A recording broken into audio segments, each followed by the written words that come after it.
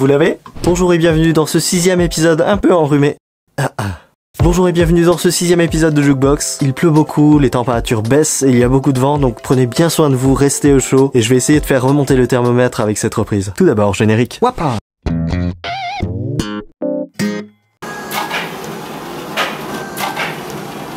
On s'intéresse aujourd'hui à la chanson The Less I Know The Better de l'artiste australien Tame Impala, qui est sorti en 2015 dans l'excellent album Currents. On est sur un morceau qualifié par l'artiste de Dorky White Disco Funk. Je vous rappelle les règles du jeu. Mon challenge dans cette émission, c'est d'essayer de recréer intégralement les morceaux en essayant de me rapprocher autant que possible de la version originale, avec pour objectif de vous partager ensuite mes stems et ma session Logic. Donc j'utiliserai uniquement des plugins et instruments virtuels qui viennent gratuitement avec Logic Pro. Je vous propose de passer au vif du sujet. C'est parti. On commence par la batterie. La batterie acoustique est quasiment 100% recalée sur la grille. Moi j'ai utilisé deux batteries virtuelles intégrées à Logic. Pour la partie acoustique, le Drum Kit Designer, en essayant de choisir des fûts et un Charleston proche de Et pour la boîte à rythme, la simulation de Lindrum. Le morceau est intégralement construit autour de boucles qui se superposent. Les patterns de batterie vont donc se répéter à l'identique, avec des petites variations selon les sections. On passe maintenant à la star du morceau, cette ligne de basse saturée emblématique. Le son de basse dans ce morceau est très particulier avec pas mal de saturation, mais également avec un timbre assez mat et très peu de sustain. Et au début j'ai pensé à des cordes un peu usées sur une jazz bass ou une précision, mais Kevin Parker explique dans une interview qu'il s'agit en fait de sa guitare électrique passée dans un octaveur. Le problème c'est que je n'ai aucun octaveur qui sonne assez propre pour ça. J'ai donc opté pour utiliser ma basse. Le tempo est à 117 battements par minute et la ligne de basse passe de Do dièse à Mi. Ma basse est branchée dans mon pédalier Boss GT1000 dans lequel j'utilise le module High Drive pour saturer le signal.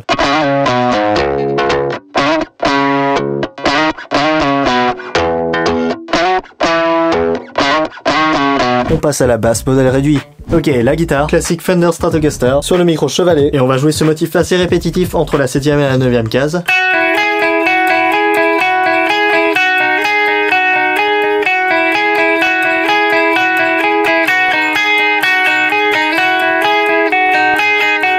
Mais j'ai repéré une petite partie de guitare supplémentaire, une sorte de cocotte disco un peu improbable.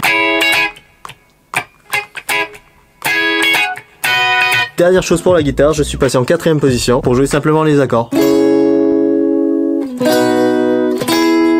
qui vont accompagner le principal synthétiseur. Quelle transition En parlant des claviers et synthétiseurs, il y a quelque chose qui me paraissait un peu étrange dans les voicings choisis et en faisant de rapides recherches, j'ai appris que Kevin Parker avait utilisé une guitare équipée d'un micro MIDI hexaphonique, lequel était ensuite branché dans un Roland GR55, un synthétiseur pour guitare. Ce qui m'a aidé à comprendre pourquoi les accords étaient égrenés de manière si guitaristique. Le premier synthétiseur auquel on va s'intéresser génère ce son cloche, assez réminiscent d'un son de Yamaha DX7, et c'est celui qui va suivre les accords que j'ai égrenés à la guitare. Derrière celui-ci, on a un pad qui vient compléter l'harmonie et ajouter un peu d'épaisseur. Changement d'ambiance sur le refrain où on passe sur un Fender Rhodes.